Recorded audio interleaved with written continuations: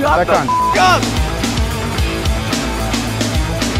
Right off. Nicholas Lawrence here with a close-up illusion that's simple and hits hard. Imagine having a ring that's too tight for your finger. As you go to take off the ring, your entire finger comes off along with it.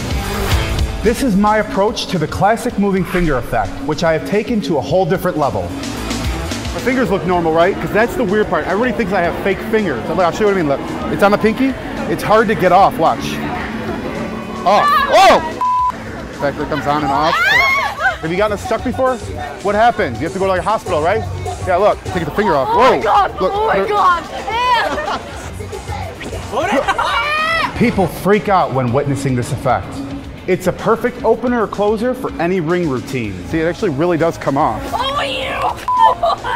Check it out. This is on off. It gets stuck. Watch. Take it right off. Oh!